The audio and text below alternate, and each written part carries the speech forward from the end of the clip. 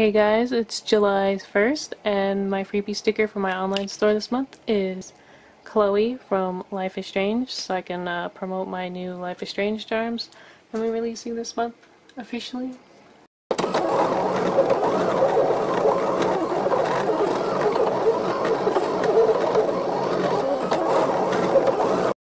Today is July 16th and I got a Zap Creatives order um, it's just a reorder of charms, like nothing new, unfortunately.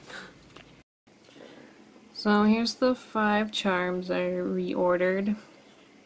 The funny thing about these two is that I haven't even announced them on my store yet, but when I announced my new Korra ones, I had already had put these in my store, and then I made the freebie sticker this month, Chloe, so people went to check out my Life is Strange stuff, and I actually almost sold out, like, already. so I was like, oh, I shouldn't announce them until I get reprints because I don't want people going to my store looking to buy them and then them not being there.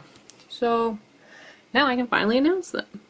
Also, when I was filming that last clip, I realized that there's something really wrong with this Max charm. Like the cut on her foot. Like it's not even, it's all weird and blocky looking. So I went and looked at my file that I submitted for it and I was like, oh, it, it looks fine. I don't know why the cut outline is like that. But then I added a stroke to this.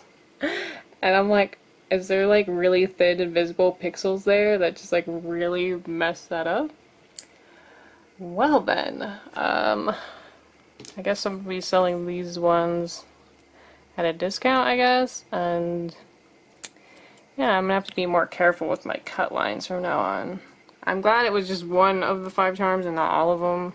I was kind of crazy because I've ordered a lot of charms from Zap already, and this is the like first time it's really happened, so I guess I, it's better than having like a whole order go like that.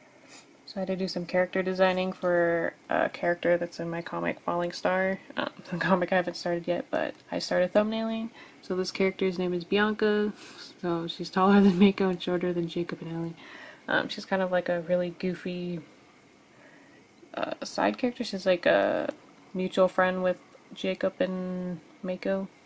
And then I also did some sketching on my computer um, of his characters in general with um, Mako, Jacob, Ali, and Bianca, the new girl.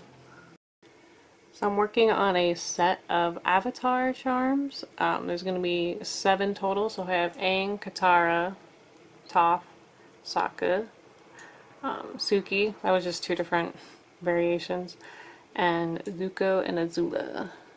I wanted to have these done by the end of July, but I don't think that's going to happen.